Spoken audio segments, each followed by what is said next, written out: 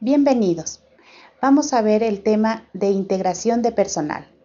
Se dice que el activo más importante de todas las empresas es su personal. Por eso vamos a dedicar especial atención a cómo se consigue o cómo se llenan las vacantes en una empresa con la integración de personal. La integración de personal significa identificar las necesidades del personal, ubicar los talentos disponibles, inventariar las personas que existen disponibles dentro de la organización. También incluye reclutar, seleccionar, colocar, promover, capacitar, evaluar al personal. Significa todo un plan de carrera relacionado al personal. ¿Qué es la selección? La selección es elegir entre candidatos a la persona más adecuada para una posición. Es decir, igualar a la persona con el puesto requerido. Los candidatos se los puede buscar dentro de la misma organización, que serían las fuentes internas, o fuera de la organización, que serían las fuentes externas. ¿Cómo es un sistema de selección? Empezamos con los requisitos gerenciales, es decir, ¿qué necesita la empresa? Basándose en los objetivos, en las estrategias que ya se han planteado.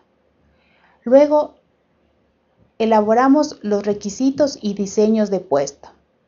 ¿Qué se necesita hacer en este puesto? ¿Cuáles son las habilidades? ¿Cuáles son los requerimientos que una persona tiene que cumplir en este puesto?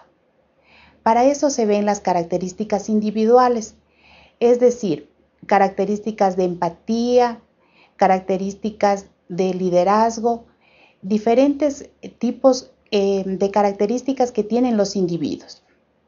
Seguimos por el reclutamiento. ¿Qué es el reclutamiento? Atraer el mayor número de candidatos para que se presenten a un, a un determinado cargo. Em, como habíamos dicho, el reclutamiento puede ser en fuentes internas dentro de la empresa o fuentes externas. Luego viene el proceso de selección.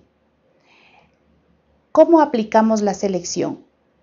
Utilizamos técnicas como entrevistas, como mm, eh, pruebas dentro de la empresa. Luego viene el proceso de contratación del personal y finalmente es necesario realizar un proceso de inducción para que el empleado nuevo se familiarice con su puesto y con las actividades que tiene que cumplir. Gracias.